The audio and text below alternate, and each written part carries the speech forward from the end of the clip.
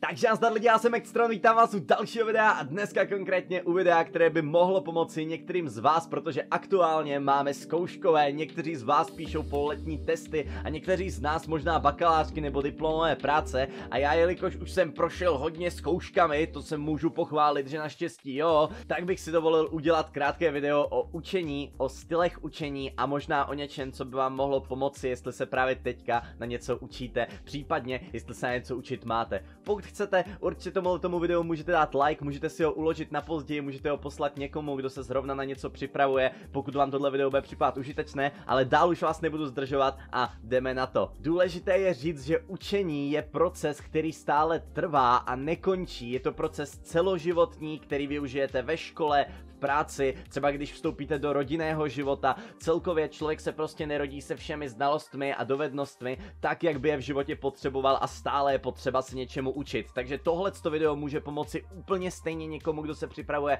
na test z matematiky, a nebo někomu, kdo se třeba připravuje na pohovor. Základním kamenem v takových chvílích můžou být materiály, informace, které potřebujete znát, ať do toho testu, do pohovoru s někým, abyste zaujali, a nebo třeba do práce samotné. Eh, je teda potřeba si sehnat materiály, které někdy máte přímo naservírované od přednášejícího a někdy si je musíte hledat na primátu nebo po spolužácích, někdy si je dokonce musíte vytvářet sami.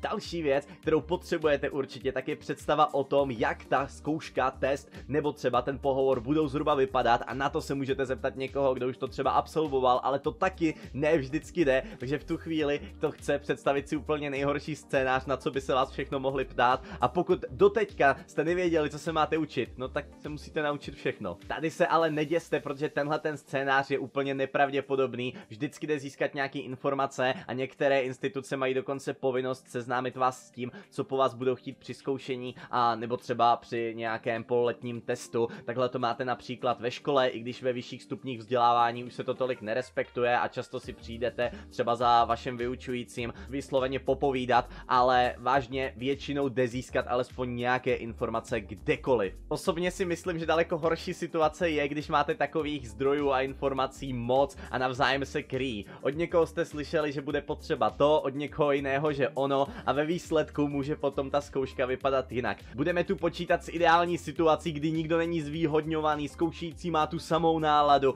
U pohovoru to může vypadat prostě u každého stejně a vždycky to je fair, ale i kdybychom s tímhletím počítali, tak stejně se to chce nějak připravit a vy před sebou máte hromadu věcí, kterých se musíte najednou naučit, musíte si je osvojit a musíte vypadat přesvědčivě, že jste si to vážně učili, i kdyby to pravda nebyla. Potom, co si seženete nějaké materiály, informace, co se vám budou hodit, tak je důležité rozvrhnout si čas, jak se je teda naučíte. Tady samozřejmě záleží na vašem konkrétním způsobu učení, protože každý člověk se učí jinak. Například já to mám tak, že si opisuju zápisy, které už mám, nebo případně si vypisuju osnovy z věcí, co si mám osvojit, případně si takhle zapisuju i informace o firmách, se kterými třeba mluvím, vím, kdo to vede, vím, jaký mají klíčové produkty, vím třeba na jakých sociálních sítích jsou. Jo, je to vlastně stejné pro práci, eh, tam si taky můžete poznamenávat pracovní postup, abyste si to zapamatovali. Někdo zase, to je ta druhá možnost, si to potřebuje číst nahlas, někdo si to jenom zvýrazní, stačí mu to, někomu může stačit to jenom poslouchat,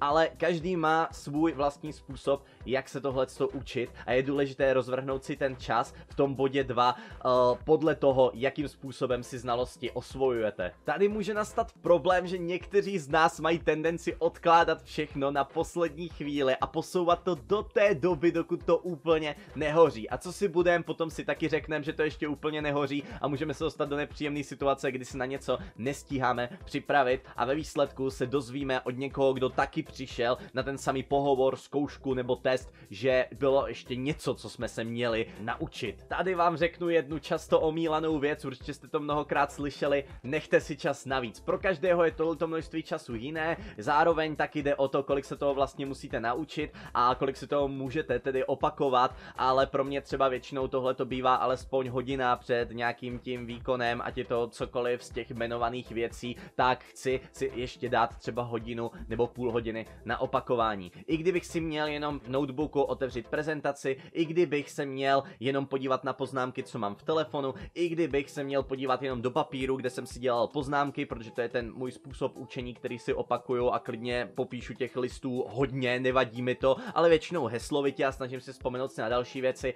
tak na tohle ještě tu chvilku potřebuju, abych uh, porazil to zapomínání a zlomil tak ten proces, kdy ubývají znalosti a ještě si je na poslední chvíli oživil a potom mohl předvíst lepší výkon. Samozřejmě tady je důležitý říct, že zapomínání je proces, který je naprosto přirozený, ale myslím si, že někdy to zkoušející vůbec nerespektují a už vůbec nedokážou zohlednit třeba to, že jste taky lidé a máte jiné problémy, které jsou často i diagnostikované nějakou poradnou a zkoušející by to měl nějak zohlednit. Ale jasně, může tam mít spoustu jiných kandidátů, může tam mít spoustu jiných vašich spolužáků, co podají lepší výkon a vy pak v kontrastu s nimi vypadáte hůř. Nebudu lhát, často mi pomohlo, že u zkoušky byl někdo společně se mnou, kdo to uměl hůř a já jsem potom ve výsledku dostal třeba dvojku, nebo potom na vysoké třeba jsem dostal Ačko, i když jsem se na Ačko vůbec necítil. Tady možná poradím jednu věc, pokud se vás zkoušející zeptá, nebo někdo na pohovoru, jak byste se ohodnotili, tak vždycky volte nějakou střední, trošku lepší cestu a pokud dokážete odhadnout, že možná to nemáte,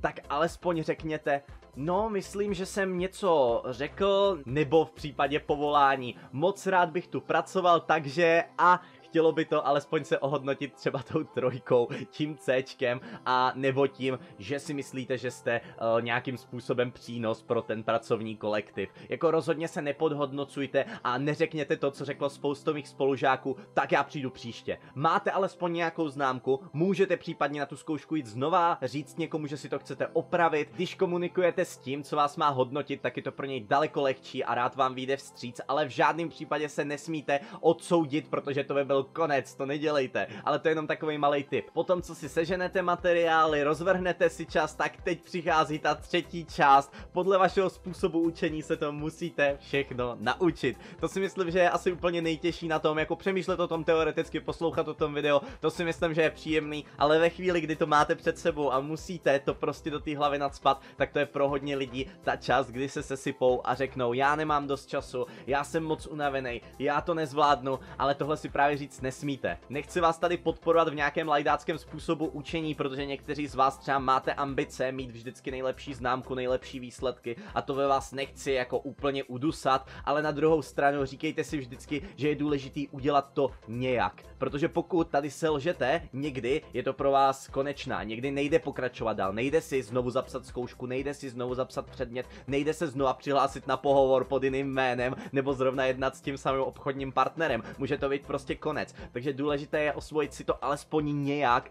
abyste nevypadli. Tady myslete na to, že přeci jenom ty zkoušky nebo cokoliv jiného, budeme říkat obecně zkoušky, tak mají vás vyzkoušet, jestli to nějak zvládáte a podle toho vás ohodnotit. Jasně, pokud berou jednoho kandidáta při tom pohovoru, tak třeba nemusí vzít zrovna vás, ale na druhou stranu ostatní se možná sesypou a vy díky tomu, že budete v klidu, že zvládáte alespoň něco a takhle myslím, že mně se to povedlo při každých přijímačkách, protože jsem zachoval klid a viděl jsem, jak tam ostatní si koušou nechty, klepou nohou, padá jim propiska, padá jim kalkulačka, ale já jsem byl vždycky v klidu, ještě jsem třeba koukal i z okna chvíli, možná jsem tím i někoho rozhodil, což teda bylo podle, ale já jsem to takhle nedělal na schvál, ale pak jsem si to zpětně uvědomil, protože mi to řekli třeba moji noví spolužáci, ale tohleto je to, co vám pomůže to alespoň nějak udělat. No jo, ale to se řekne, nestresujte se. Podívejte se dopředu, kolik ještě máte času, no, moc ho nemáte, tak tohle to může být trochu problém, ale já tady mám jedno řešení, protože nepiju ani kafe a nepiju ani zelený nebo černý čaj, protože většinou nemám chuť na horký nápoj, tak je v tomhle tom hrozný plus, že používám Alchemister, což je produkt, který vymyslel Martin Rota a Patrik Kořenář společně ještě s Janem Duškem, já jsem si vzpomněl z Videátory a taky na nějaký klipy na ztrátě času. No proč to říkám, tak je to český produkt od lidí, který pravděpodobně znáte, někdy jste je už potkali na YouTube. Martin Rota například vede z Vědátory společně s Patrikem Kořenářem, mohli jste byste ho vidět na ztrátě času a nebo třeba na Troll News a dalších kanálech, které existují na YouTube a jsou všechny jeho. Otázka je, jak to zvládá, jestli nemá svůj klon, ale určitě v tom bude alespoň hrát malou roli to, že umí pracovat s časem a taky sám se sebou, což třeba mě s tím může pomoct právě alchemistr, jelikož je v něm jak kofein, tak v něm je třeba i právě zelený čaj, džerba a je tam vitamin D, který je strašně důležitý jednak v dnešní době třeba na imunitu, ale zároveň tak taky na nějakou flexibilitu uh, mozku a na zpracovávání informací. Prostě když máte správný vitamíny, když vaše tělo je v pohodě, správně pijete, správně jíte, tak se učí daleko líp. Takže tohle je další tip ode mě. Starejte se o svý tělo a pokud vám je 18, tak konkrétně můžete zkusit třeba Alchemister, tady na něj nahoře máte odkaz. Já vám ještě ukážu super věc. K objednávce tří balení Alchemistru, tak je takováhle krásná taška. Já teda nevím, co v ní teďka popravdě mám, ale myslím si, že jenom další Alchemistr. No, ještě penál. Já normálně chodím s batohem, ne s brašnou, takže si pak přehazuju věci, ale každopádně tahle ta brašna taky k objednávce tří balení. A je ještě druhá varianta objednávky těch tří balení a ta je se šátkem, který je mimochodem taky strašně suprovej. Víte, že máme náš merch, který je na Real Geeku, ale kdybych neměl multifunkční šátek svůj, tak nosím pořád tenhle ten Alchemister šátek, který je navíc ozdobený takovouhle maskou, takže rozhodně vám nikdo nemůže říct, že nenosíte masku v dnešní době, protože tady je jedna velká. A taky stylová a limitovaná, takže pokud byste třeba ten Alchemister chtěli vyzkoušet, znova tady opakuju, je to od 18 a je to vlastně místo kafe nebo místo zeleného čaje, protože to kombinuje vlastnosti těle těch nápojů, co hodně lidem pomáhají každý den vstát, takže pokud nemáte čas třeba na horký nápoj, protože taky člověk musí u toho chvíli sedět, nemůže s tím běhat, i když někteří z nás s tím třeba i řídí, ale to už je další kapitola. Důležitý je, že můžete to vyzkoušet přes odkaz v popisku, anebo jak jsem to dával před chvílí do karty. Každopádně, eh, tady je důležitý říct, že u každého funguje ta práce s energií jinak. Někdo si prostě radši dá energiťák, protože je v tom hromada cukru a ví, že potřebuje kofein na to, aby nebyl unavený, ale cukr na to, že teď bude mít nějaký výkon. Ale pokud chcete nějak prostě udržovat tu energii, tak zrovna Alchemister na to má krásnou křivku, která to ukazuje, že po jedné dávce tak vám to pomůže a pak to jde dolů, ale při chytrým dávkování, což znamená po dvou hodinách další tableta, tak vy to držíte držíte pořád nahoře a díky tomu tak můžete být zase produktivnější. Ale znova říkám, to je od 18, nechci tady propagovat zbytečně uh, kofeinové tablety, které sice mají navíc vitamíny, ale pořád je to od 18. Každopádně, proč to tady zmiňuju, tak vím, že stejně spousta lidí pije kafe, pije energiťáky a tohle je určitě zdravější a navíc česká varianta, kde si můžete přečíst, co to obsahuje. Já sám jsem pil kafe prváku na střední, ve druháku už mě to nebavilo, ale zpátky k učení. Tohle to může pomoct při učení, ale musíte znát zase to, jak vám to pomáhá. Jo, doporučuju, ale jdeme dál. Máte materiály, rozvrhli jste si čas, máte to před sebou, učíte se to svým způsobem a teď zjistíte, že třeba nestíháte. Lepší je vždycky si to všechno alespoň nějak přečíst, protože ať je to jakákoliv zkouška, je důležité alespoň tušit, co je správně při kroužkování, při tom, když se vás někdo ptá a dává vám na výběr, a nebo vědět, co můžete říct, protože zrovna to ovládáte a můžete se teda předvést. Takže důležité je umět něco dobře, když máte možnost to předvést, ale zároveň je důležité od všeho vědět alespoň něco, což je možná dost těžké někdy, ale zase nemůžou vás často potom vyhodit od té zkoušky, když alespoň něco řeknete. Tím se musíte uklidnit, že něco přece víte. Zase nechci podporovat to, že se nebudete učit na něco, ale já tady spíš cílim na ty lidi, kteří se stresují do poslední chvíle, spolužáci se jich ptají, tak co umíš to? Oni řeknou, ty neumím a pak mají jedničku nebo dvojku, no. A ještě možná, když mají tu dvojku, tak si to zkazili tím, že se stresovali místo místo toho, aby prostě se plně soustředili na tu danou věc, v čem zase může pomoct ten alchemistr. Ale to už zase uh, zabíhám zpátky. Jak té skupině lidí, kteří jsou připraveni a neví o tom, ti, kteří jsou připraveni a tuší, že asi něco ví, nebo lidem, co nejsou připraveni, netuší, a nebo nejsou připraveni a asi to o sobě vědí, tak tady může pomoct poslední, čtvrtý bod, co chci dneska zmínit, a to je nějaký sebe vyzkoušení se, který je vždycky důležitý. Tady se vracíme k tomu, že si můžete představit představit nějaký katastrofický scénář, ale většinou víte, jak bude ta daná zkouška vypadat a můžete si ji doma nacvičit. Třeba na maturitu, která určitě spoustu z vás čeká, tak jsem se připravoval tak, alespoň na tu ústní část, že jsem ke každé otázce zkoušel sám od sebe mluvit 3 až 5 minut. Říkáte si, musím tam mluvit 15 minut, 3 až 5 je přece málo. No, když máte potom třeba 60 otázek, 3 až 5 minut, jo, to je základ. Potom se nabalí ty informace, budete toho vědět víc. Často se ty otázky otázky prolínají, když něco víte, můžete do toho zaběhnout, oni vás když tak zastaví, každý zkoušející je v tomhle samozřejmě jiný, ale základ musíte nějaký umět. Takže takhle jsem se například učil já, zkusil jsem si to říct. Když jsem měl například s někým mluvit, pomáhal jsem třeba policii se sociálními sítěmi, tak já jsem si předtím ještě zkusil zopakovat, co všechno chci zmínit, že bych třeba dělal trochu jinak. Ještě jsem si zopakoval, s kým vlastně teda budu mluvit, na kterém přesně je pracovišti, co ještě dělal za projekty, abych prostě věděl, nebo abych vypadal, že vím a v tomhle už vám může pomoct váš partner, někdo z rodiny, můžete se vyzkoušet sami tím, že si to třeba nahrajete a pustíte. Já vím, já taky třeba nerad poslouchám svůj hlas, protože mě zní z videí jinak, než jak se slyším já, takže ani pro mě to není příjemný, ale je to fajn způsob učení a navíc, když něco si nahlas říkáte, pak to posloucháte, ještě třeba to máte napsané, tak uh, alespoň si to opakujete více způsoby a lépe se vám ty informace do hlavy ukládají a spojujete si to. Navíc vám to taky pomůže s nějakým vnitřním klidem, protože když vidíte ty jednotlivé soubory, jak jste ke každé otázce mluvili třeba 3 minuty, tak to mi neříkejte, že nevěříte tomu, že alespoň něco umíte a tím pádem nedokážete být v klidu. Jako další bod bych teoreticky mohl přidat ještě štěstí, ale myslím si, že na tomhle se velice těžce pracuje, pokud teda nemáte zrovna nějakého kamaráda, co by udělal nějaký rituál pro vás. Satané! Alchemistre! Veselý hrníčku za rozumnou cenu! A nebo něco cokoliv jiného, tak tady se na tom špatně pracuje, ale nebojte, věřím, že štěstí i v tomhle případě bude přát připravený, a jestli jste se alespoň nějak připravili, tak ono to dopadne. Já vám budu držet palce, protože ať se připravujete na jakoukoliv životní zkoušku, nezmínil jsem třeba autoškolu, to je taky strašně důležitá životní zkouška pro hodně lidí, co to auto vážně potřebují v životě, protože bydlí na vesnici, taky jsem z vesnice, znám to, a nebo to potřebují pro povolání, nebo zkouška odborné způsobilosti pro získání zbrojáků, zdravotnický kurz, cokoliv. Na tyhle ty životní zkoušky já vám držím palce,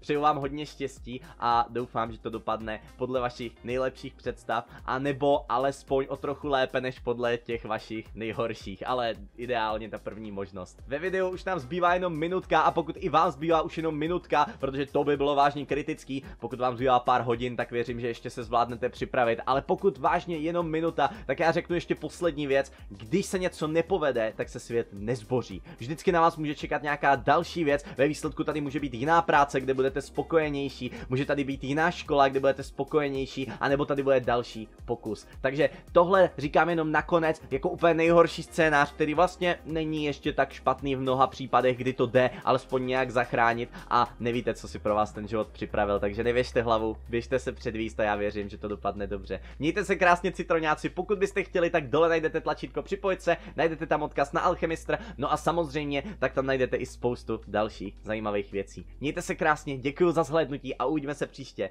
Čau čau, dejte like!